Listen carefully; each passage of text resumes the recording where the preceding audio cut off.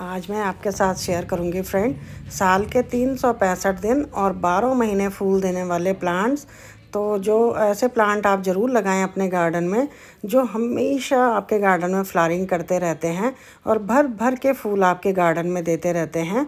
तो बने रहेगा वीडियो में. तो हेलो फ्रेंड्स मैं आशा, आपका स्वागत है आशा की गार्डनिंग में. मेरी खुशियों की बगिया में। तो मेरी खुशियों की बगिया से फ्रेंड सबसे पहला जो फ्लावर प्लांट है, वो है ये बोगन विला। और बोगन विला बहुत सारे कलर्स में मिलता है और पूरे साल भर जो आपके गार्डन में फ्लारिंग करता रहता है तो इसको ऐड करना आप अपने गार्डन में ना भूलें। और बहुत ही खूबसूरत रंगों में और बहुत ही खूबसूरत वेराइटीज़ में आता है ये। और इसको आप चाहे तो बेल के रूप में और चाहे तो आप इसे प्लांट के रूप में डेवलप कर सकते हैं। नेक्स्ट है रोज़। और रोज़ भी बहुत खूबसूरत फ्लावर प्लांट होता है फ्रेंड, जो हमेशा आपके गार्डन में फ्लारिंग करता रहता है। बहुत सारी वेराइटीज़ रोज़ की मिलती है।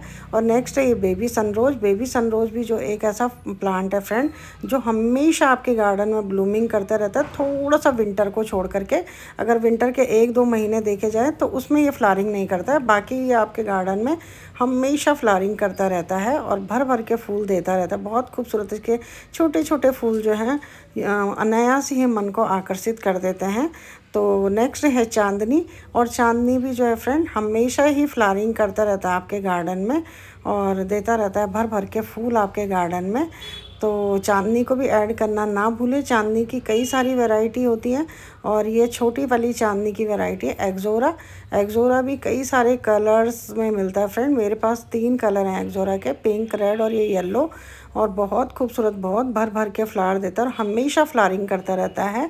नेक्स्ट है पेंटास और पेंटास का तो कोई जवाब नहीं है फ्रेंड हमेशा जो है गुच्छों में इस तरीके से फूल खिल, खिले रहते हैं और साल के बारह महीने फ्लारिंग करते हैं। बहुत ज़्यादा अगर आप सर्दियों में इनको सेडी एरिया में रखेंगे तो भी ये हमेशा फ्लारिंग करते रहते हैं। लेकिन अगर आप इन्हें थोड़ा ओस के नीचे, पाले के नीचे छोड़ देते तो ये थोड़ा जल जाते हैं।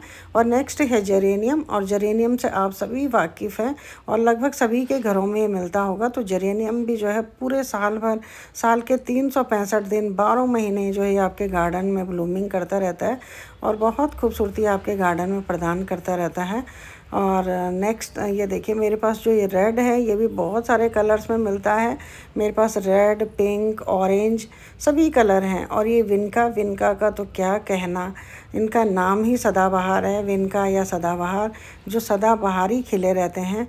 और बहुत सारे कलर्स में ये भी मिलते हैं। फ्रेंड मेरे पास कम से कम ये पाँच कलर हैं, पाँच या छः कलर हैं। और बहुत खूबसूरती से जो है ब्लूम ब्लूमिंग करते रहते हैं आपके गार्डन में। और बहुत खूबसूरती आपके गार्डन को प्रदान करते हैं। आ, साल के तीन सौ पैंसठ दिन जो है ये महकते रहते हैं आपके गार्डन में। और नेक्स्ट है ये जाफरी मैरी गोल्ड और ये जाफरी मैरी गोल्ड भी बहुत खूबसूरत फ्लावर प्लांट होता है फ्रेंड और ये भी हमेशा चलते रहते हैं हमेशा ब्लूमिंग करते रहते हैं आपके गार्डन में और बहुत खूबसूरत फ्लावर प्लांट होता है ये। तो इसको भी ऐड करना ना भूलें अपने गार्डन में। और नेक्स्ट जो ये गुम फराना गुम फराना भी दो कलर में है मेरे पास, एक वाइट और एक पिंक। तो ये भी बहुत अच्छा फ्लावर प्लांट है फ्रेंड। और ये भी साल के तीन सौ पैंसठ दिन जो है फ्लारिंग करता रहता है, अगर आप इसके थोड़ा सा केयर करेंगे तो। और हमेशा जो है ब्लूमिंग करता रहेगा आपके गार्डन में।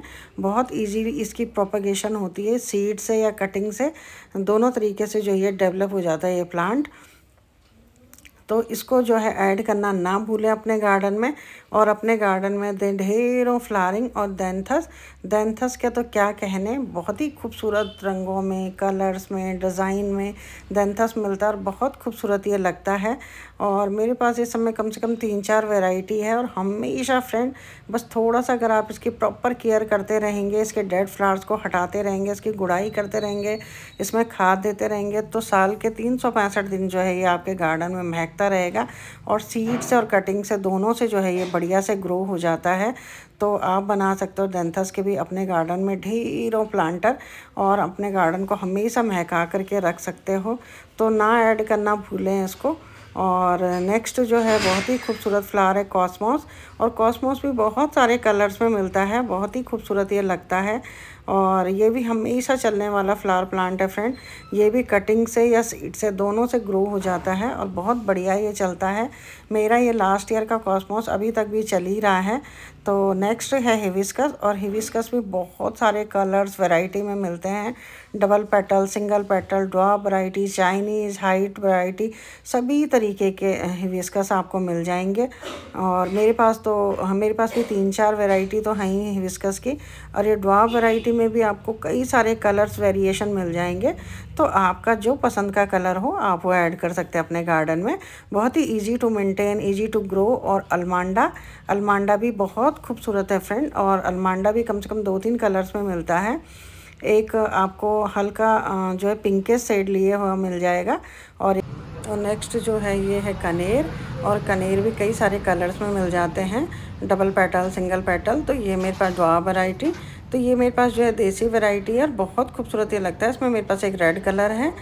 तो तो बस आज के लिए इतना ही फ्रेंड होप सो आपने वीडियो को एंजॉय किया होगा। तो वीडियो अगर अच्छे लगे तो चैनल को सब्सक्राइब करें वीडियो को लाइक करें और वीडियो अगर बहुत अच्छा लगे तो आगे तक ज़रूर शेयर करें और बेल के आइकन को प्रेस करना ना भूलें ताकि आने वाले वीडियो के नोटिफिकेशन आपको मिलते रहें।